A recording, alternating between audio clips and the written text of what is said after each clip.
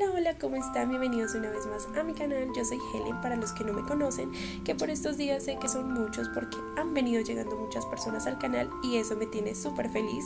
Ya somos más de mil personitas y estoy súper, súper contenta. No es tan fácil subir video, pues ya les conté que no tengo un computador en, lo cual en el cual editar, entonces es un poco difícil.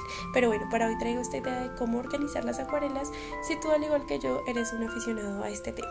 Tengo esta manerita de organizarla y es con este pastillero o bueno, no sé, como este organizador que conseguimos junto con mi hermana en Panamericana aquí en Bogotá.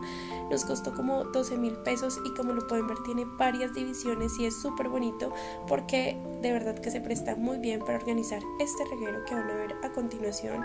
Háganme el favor que es este reguero tan terrible como las organizas no importa, siempre se van a ver desorganizadas y bueno, vamos a comenzar por organizar y clasificar los colores por gamas.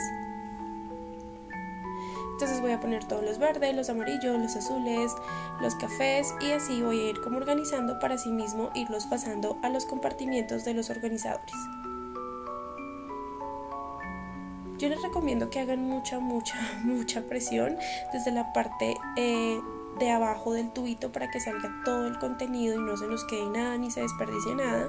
Y lo van a empezar a vaciar de una manera uniforme para que no se hagan como bombitas de aire y no se, no se cuartee al momento de secarse.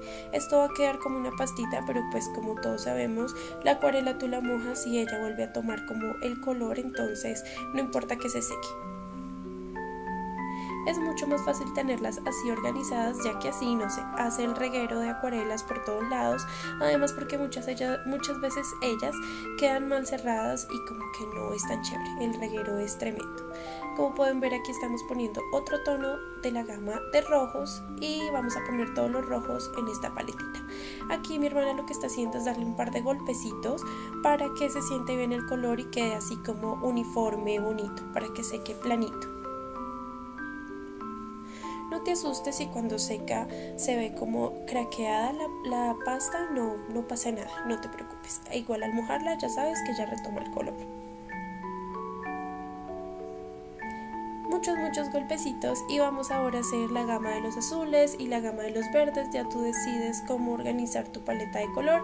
No tiene que ser exactamente este organizador, puedes utilizar cualquier pastillero que tengas a la mano para que tus acuarelas no se pierdan porque realmente en el tubo pues muchas veces se secan y en el tubo sí se pierden porque si rompes el tubo la acuarela se desborona y bueno, eso es un desastre. Entonces yo sí te recomiendo que las guardes así.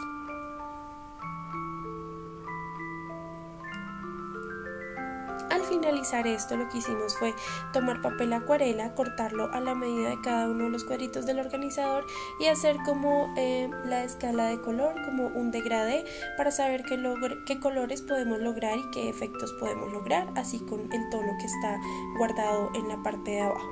Yo espero que este video les haya, les haya gustado muchísimo, perdón, ya hasta se me está olvidando cómo tengo que hablar. Espero que les haya gustado muchísimo este video, de verdad espero, espero de todo corazón poder subir uno muy muy pronto. La verdad es que aún no tengo computador, estoy en uno prestado y se lo llevan. Entonces no sé cuándo pueda volver a grabar o volver a subir un video. Pero espero que sea muy muy pronto. Les envío un besito enorme y un abrazo gigante. Nos vemos en el próximo videito. Adiós.